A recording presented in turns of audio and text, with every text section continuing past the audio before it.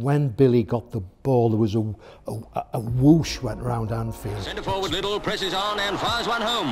Liverpool one up in the first 18 minutes. He broke one goalkeeper's wrist trying to save one of his penalties. They wouldn't let him go in goal. He was too valuable out, outfield.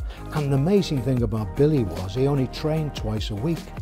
To me, he's the finest Liverpool player I've ever seen.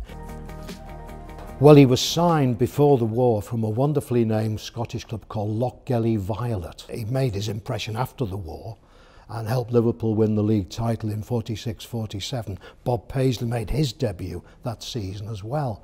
Billy was just a sensational player. Ian Callaghan will tell you that he became a Liverpool fan because of Billy Little. He said when Billy got the ball, there was a, a, a whoosh went round Anfield, expectancy and uh, just incredible um, atmosphere when he got the ball. He was just wonderful. And he had a, a shot like a cannonball. He, he broke one goalkeeper's wrist trying to save one of his penalties.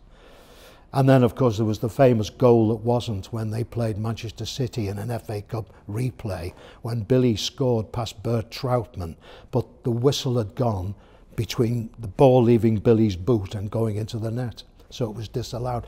The, the crowd wouldn't go home. They thought it was, uh, they had to appeal for the crowd to go home. And the ball's on the ground. Outside left Liddell sees a chance. It's an open goal, and he shoots. Billy could play anywhere. He could play right across the line, on the wing, in the middle. In fact, uh, he would often end up as a halfback or even as a fullback in emergencies. There was one game at Derby County when the goalkeeper, I think it was Tommy Younger, got injured and they had to, he, he tossed up with Ronnie Moran who'd go in goal because there were no substitutes. And Billy won the toss, but they wouldn't let him go in goal. He was too valuable out, outfield. It was known as Liddellpool with the great Billy Liddell. To me, he's the finest Liverpool player I've ever seen, simply because he was in a mediocre team, and that's, that's being complimentary to them.